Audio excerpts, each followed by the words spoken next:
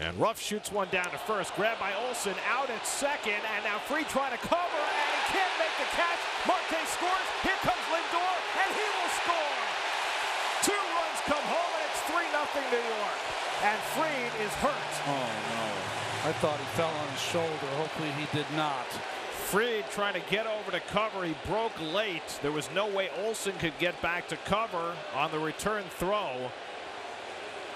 And as Swanson bounced it in and Fried tried to grab it, he went sprawling.